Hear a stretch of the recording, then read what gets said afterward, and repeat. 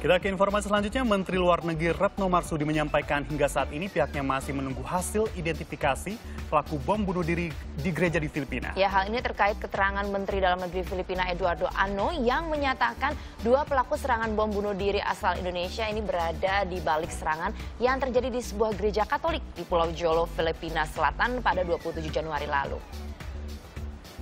Hasil komunikasi yang dilakukan Menteri Luar Negeri Retno Marsudi dengan otoritas Filipina hingga saat ini bahwa proses investigasi dan juga identifikasi masih terus berlangsung. Retno menyatakan hingga saat ini informasi yang menyebut pelaku adalah WNI ini masih bersifat praduga.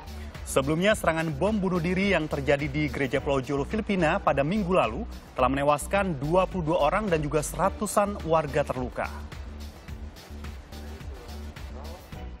Informasi yang kita peroleh sampai hari ini menyatakan bahwa identifikasi pelaku belum dapat dikonfirmasikan.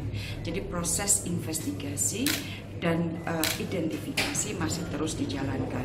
Hari ini saya akan masih terus melanjutkan uh, komunikasi dengan otoritas uh, Filipina. Jadi kita lihat dulu apakah betul dia adalah uh, warga negara Indonesia itu yang uh, perlu kita apa namanya kita ketahui terlebih dahulu.